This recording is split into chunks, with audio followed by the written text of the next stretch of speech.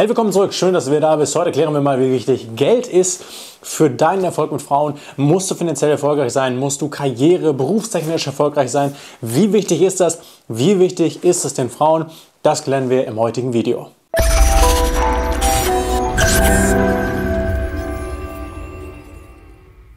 Also, ich bin auf das Thema gekommen, weil ich gestern mit einem äh, hier, Zuschauer telefoniert habe, äh, der sich für ein Coaching äh, beworben hat. Und wir haben über diese Themen geredet. Hey, wie wichtig ist denn zum Beispiel Geld? Wie wichtig ist denn Aussehen und Duft und Kleidung und so weiter? Und so vielen dieser Gebiete habe ich ja schon mal ein Thema gemacht. Geld verhält sich da aber noch ein bisschen anders als zum Beispiel das Aussehen. Ne? Ich habe, wie gesagt, schon Videos zu den anderen Themen gemacht, deswegen soll es heute darum nicht gehen, sondern heute geht es wirklich explizit darum, wie wichtig ist Geld in diesem Flirt-Kontext Mann und Frau. Und da muss man zwei verschiedene Bereiche betrachten. Und zwar muss man zum einen betrachten den Bereich, wie wichtig ist es in einem mehr Casual Flirt, in einem Flirt im Sinne von, ja, keine Ahnung, One-Night-Stand, Freundschaft plus, äh, kurze Affäre, ähm, kurze Beziehung oder wie wichtig ist es in sowas wie langfristige Beziehung, Familiengründung, Ehe und so weiter. Das sind zwei ganz verschiedene Bereiche, die wir uns hier angucken müssen. Generell kann man sagen, dass natürlich Geld jetzt nicht unbedingt ein Nachteil ist, wobei der Nachteil sein könnte, dass wenn du ganz, ganz viel Geld hast, du nie so genau weißt, ist die Frau jetzt wegen mir hier, weil sie mich mag oder vielleicht wegen meinem Geld.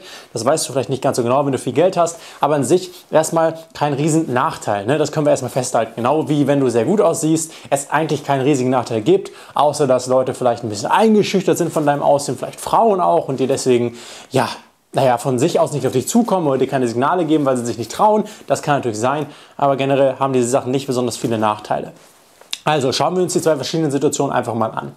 Wir haben hier die, die Casual Dating Situation, so nenne ich es mal. Und in diesem Fall ist Geld kein so wichtiger Faktor. Was natürlich cool ist, ist, wenn ihr dann auch mal zusammen was unternehmen könnt. Das heißt, wenn das so eine Frau ist, die du regelmäßig über einen längeren Zeitraum triffst, dann war es bei mir auch schon mal so, dass ich gerne mit dir auch mal in Urlaub gefahren bin für eine kurze Zeit.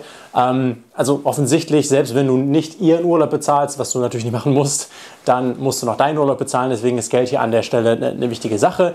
Ähm, Geld hat aber in diesem kurzfristigen Rahmen hier nicht die Riesenbedeutung. Da sind andere Dinge entscheidender, wie wie gut bist du im Flirten, wie humoristisch bist du, wie entspannt bist du, wie gut siehst du aus, wie gut gepflegt bist du, ähm, wie kommunikativ bist du. Die klassischen Dinge, die im Flirt eben wichtig sind, sind hier viel, viel wichtiger. Und auf der anderen Seite haben wir aber das andere Extrem, nämlich lange Beziehungen oder vor allem, vor allem Familiengründung, Ehe und so weiter. Und da ist natürlich so, dass der Aspekt Geld schon ein wichtiger Aspekt ist, weil naja, wie willst du eine Familie gründen, wie willst du eine Familie ernähren, wenn du halt äh, kein Geld bekommen kannst? Und Geld ist natürlich, das muss man so sehen, auch nur ein Indikator für etwas anderes, also weist auf irgendetwas anderes hin. Das heißt, wenn du, wenn du Geld verdienst und wenn du, wenn du gut mit Geld umgehen kannst, dann ist es irgendwo auch ein Indikator, der der Frau zeigt, hey, du kannst hier in dieser Gesellschaft, in der Welt kommst du klar, du, du kannst damit gut umgehen. Und das ist natürlich eine positive Sache und auch eine anziehende Sache. Aber wie gesagt, viel, viel wichtiger, wenn man sich hier Bereich Nummer zwei anguckt, nämlich Familie und langfristige Beziehungen, da ist schon so ein Punkt, wo die Frau schaut, okay, wie ist denn sein langfristiges Potenzial? Hier bei den kurzen Beziehungen ist es natürlich egal, wenn sie jetzt mit dir ein One-Night-Stand hat, ist es absolut egal. Ähm, das ist natürlich schön, wenn du vielleicht eine teure Wohnung hast, wo man einen schöneren One-Night-Stand haben kann oder was auch immer.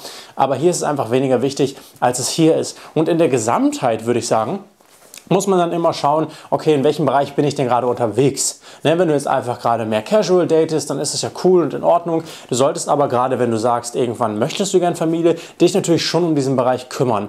Denn ansonsten wird es schwierig. Ansonsten wirst du keine Frau finden, die sagt, ja, los, lass uns Familie gründen, wir haben halt voll die guten Grundlagen. Und da ist es dann tatsächlich auch so, dass da kannst du auch sehr attraktiv sein. Wenn diese Sache fehlt, dann wird die Frau wahrscheinlich keine Familiengründung mit dir machen oder auch große, ich sag mal, Widerstände, große, ja, Sorgen um dieses Thema drum haben und wird es halt einfach nicht tun. Und deswegen ist es äh, ganz wichtig, dass du ähm, dich darum kümmerst, wenn du in diesen Bereich hier willst. Aber eben hier im, im, im Casual-Bereich ist das Ganze nicht super relevant. Da musst du dir jetzt nicht so einen Stress machen. Die anderen Faktoren, über die wir geredet haben, spielen da eine viel größere Rolle. Gerade zum Beispiel das Aussehen oder solche Sachen wie kommunikative und Flirtfähigkeiten. Die sind hier viel, viel wichtiger. Hier natürlich auch wichtig, aber Geld allgemein nicht so der Riesenfaktor. Das heißt, wenn es gerade bei dir finanziell noch nicht so läuft, wenn du ein bisschen jünger bist, wenn du vielleicht auch karrieretechnisch überhaupt nicht weißt, wo du hin willst. Und ähm, wenn ich Karriere sage, dann meine ich nicht dein Unternehmen, du musst, äh, du musst erfolgreich werden in einem großen Unternehmen, das meine ich nicht mit Karriere, sondern ich meine damit einfach, was auch immer du dir vorstellst als deine, dein Lebenszweck, als deine Aufgabe. Ne? Du musst nicht unglaublich weit fortgeschritten sein, ähm, denn das Geld ist für diesen Bereich hier nicht so wichtig. Es kommt natürlich auch darauf an, das ist ja klar, wie alt ist diese Frau, eine 17-jährige Frau, äh, selbst wenn sie eine lange Beziehung möchte, wird weniger Wert auf Geld legen als eine 32-jährige Frau, die eine lange Beziehung möchte, die dann wahrscheinlich auch Familie haben möchte in den nächsten Jahren. Das heißt, Geld allgemein so ein Faktor, da muss man sich meiner Meinung nach nicht wirklich den riesen Stress machen. Ähm, kommt auch an, wo du hin willst, kommt auch an, wie alt du bist, kommt auch an, wie alt deine Zielgruppe ist aber nicht der Riesenfaktor, für den manche Leute ihn tatsächlich manchmal halten. Soviel zum Geldthema. Ich hoffe, das ist soweit klar geworden. Schreib mir gerne in die Kommentare, was deine Erfahrungen und deine Gedanken dazu sind. Ansonsten, das weißt du bereits, sehen wir uns übermorgen wieder. Hier oben abonnierst du den Channel, wenn noch nicht passiert. Auch die Glocke aktivieren. Hier unten kannst du dich für ein Coaching bewerben. Und hier geht es zu weiteren Videos für deinen Erfolg und Frauen. Übermorgen sehen wir uns wieder. Bis dahin, ciao.